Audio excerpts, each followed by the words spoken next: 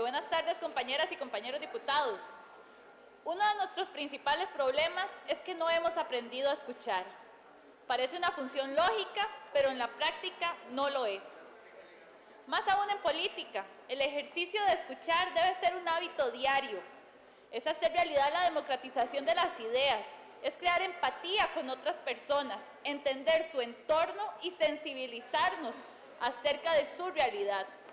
Justamente les voy a contar que el día de ayer fue un día atípico, especial, y tuve el honor de compartir con mi compañera diputada Paola Valladares el estar sentada junto con 52 jóvenes universitarios en un conversatorio donde les comentábamos sobre la dinámica legislativa, cómo era nuestro trabajo en la Asamblea Legislativa y sobre las expectativas acerca de la labor que desempeñamos.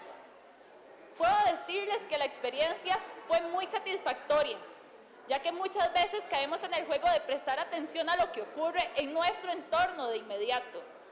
Sin embargo, no nos percatamos ni percibimos la gran oportunidad que tenemos de conocer las ideas, la experiencia, vivencias, situaciones y anécdotas, pero sobre todo las enseñanzas que muchas personas que están fuera de estas cuatro paredes nos pueden dar. Y cuando se trata de juventud, con muchísima más razón, a ellos y a ellas, a los jóvenes universitarios con quienes, como yo, tenemos una verdad que todos queremos defender, concebimos el mundo de una manera distinta, que son fuerzas que nos llevan cada vez más cerca de una cuarta revolución industrial liderada por el uso de la tecnología y más acceso a la información. Allí, en ese, en ese auditorio, en la segunda fila había una muchacha sancarleña, Priscila, una joven que, que viene recién graduada del Colegio Técnico Profesional del Agro y que además es estudiante de la carrera de Relaciones Internacionales. Cuando empezamos el conversatorio, Priscila toma la palabra y no, no realizó ningún comentario con respecto a la temática de la Asamblea Legislativa, sino más bien su pregunta iba más dirigida a un tema que para todos los costarricenses es una triste realidad. Ella consultó sobre los, proyectos o la manera de cómo se van a generar empleos para la zona norte, cuando quizás su pregunta no iba relacionada, como lo menciono, a lo que estábamos tocando en ese tema. Ella quería escuchar de nosotras la visión y la forma de generar desarrollo para las zonas rurales. Allá le preocuparon esos 500 metros de fila que se hicieron a inicios de año en una feria de empleo en Ciudad Quesada.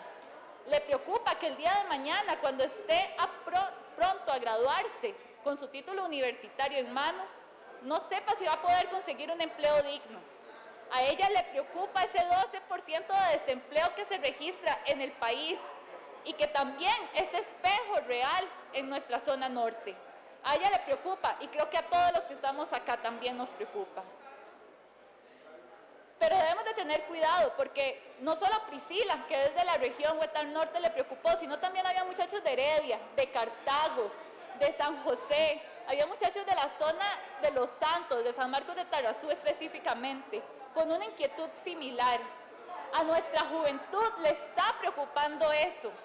Y si no los escuchamos, seremos cómplices de una indiferencia cruel ante la realidad que estamos viviendo. A hoy, yo no sé y me sigue generando dudas si el gobierno ha escuchado, si los ha escuchado a ellos y si está prestando atención a este tema.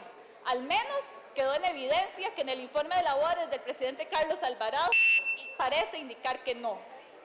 Yo le explicaba a Priscila de proyectos realmente ambiciosos para la región, específicamente, como la del famoso Centro de Valor Agregado, que ya he hecho mención allá, aquí, para que allá podamos realizar mayor elaboración de productos desde la materia prima que ya producimos. Pero ese era un caso hipotético. La idea también es abrir innovación, emprendimiento y que se vaya también fortaleciendo con el resto de proyectos que la Agencia para el Desarrollo de la Zona Norte tienen como prioridad, porque además tenemos un corredor turístico que es realmente importante para la región. Nuestra juventud está preocupada. Debemos hacer el mismo ejercicio de escuchar. Tenemos que buscar cuál es ese clima de participación e involucrarlos y prestar más atención principalmente a esa palabra trillada de reactivación económica que al parecer el Poder Ejecutivo está olvidando. Gracias.